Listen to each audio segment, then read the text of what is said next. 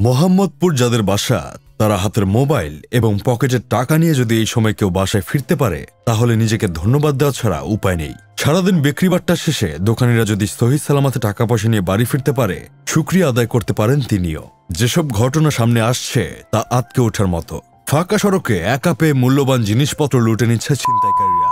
এখানেই শেষ না।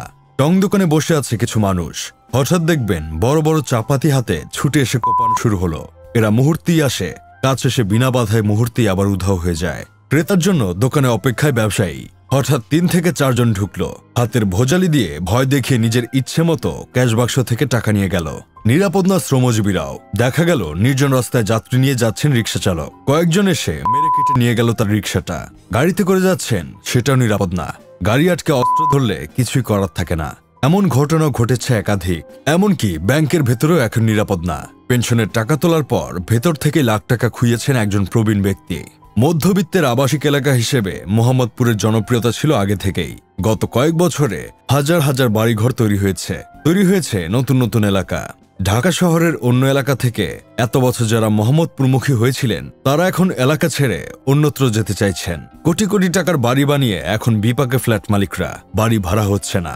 সরকার পতনের পর থেকে গোটা দেশে আইন শৃঙ্খলার যাচ্ছে তাই অবস্থা। এর মধ্যে ঢাকার মোহাম্মদপুর যেন অপরাধের স্বর্গরাজ্য হয়ে গেছে। দিনে দুপুরে ছিনতাই, বাসায় ঢুকে ডাকাতি, প্রকাশ্যে খুন, এসব মামুলি বিষয় হয়ে গেছে। এলাকার নিয়ন্ত্রণ নিয়ে নিজেদের মধ্যে মারামারিও করছে কেউ কেউ। সরকার পতনের পর পুলিশ উধাও হয়ে গেছে। এলাকার নিরাপত্তায় দল বেঁধে পাহারা দিত মানুষ। কিন্তু সেই পিকনিক মুড এখন নেই। আর এই সুযোগে ঘটছে এসব ঘটনা। এখন গোটা রাজধানী শহরই টক অব দ্য টাউন হয়ে গেছে। হচ্ছেটা কি মোহাম্মদপুরে? যত ঘটনা ঘটছে, সব প্রকাশ্যে আসছে না। কিন্তু সিসিটিভি ফুটেজে যা যা দেখা যাচ্ছে, তা সাউথ আফ্রিকার বর্ণনার সঙ্গে মিলে যাচ্ছে। ছিনতাই ছাড়াও চলছে যানবাহন থেকে চাঁদাবাজি, ফুটপাত দখল আর নির্বিচারে মাদক বিক্রি। আড়াই মাসে থানা এলাকায় খুন হয়েছে অন্তত সাতজন। গুলি, ছুরিকাঘাত আর দল বেঁধে পেটানোর ঘটনা আছে অসংখ্য।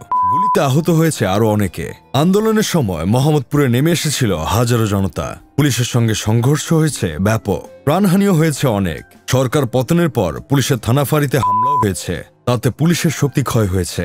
এরপর অন্তর্বর্তী সরকার ক্ষমতায় এসে সেই থানার সদস্যদের বদলি করেছে অন্য জায়গায়। নতুন পুলিশ সদস্যদের নিয়ে আসা হয়েছে। মুশকিল হলো, তারা সেই এলাকার গতি প্রকৃতি বোঝে না। অলিগলিও চেনে না অনেকে। নগরীর অন্য থানা এলাকার তুলনায় মোহাম্মদপুর অনেক বড়। কিন্তু আন্দোলনের পর পুলিশের সদস্য গেছে কমে, ফলে শক্তি কমেছে আইনশৃঙ্খলা বাহিনীর।